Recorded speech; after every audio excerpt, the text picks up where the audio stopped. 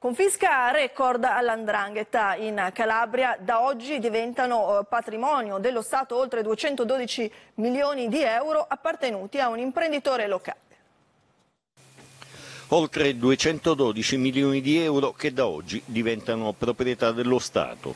A tanto, infatti, ammonta la confisca del patrimonio di Salvatore Gallo, 64 anni, imprenditore di Reggio Calabria che, secondo gli investigatori, sarebbe stato vicino alle potenti cosche Piromalli di Gioia Tauro e Zagari Fazzalari di Taurianova, operanti anche nel mandamento tirrenico dell'Andrangheta Reggina.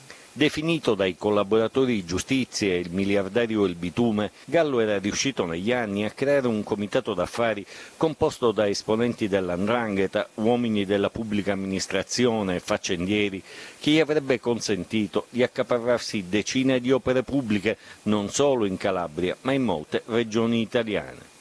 Il coinvolgimento dell'imprenditore nella commissione dei reati di natura economico-finanziaria era già emerso in diverse inchieste condotte dalle procure antimafia di tutta la Calabria. Per anni i militari della finanza di Reggio Calabria e gli specialisti dello scico delle fiamme gialle hanno indagato sul suo patrimonio e sugli innumerevoli beni che aveva accumulato, molti dei quali intestati a prestanome o a società fittizie.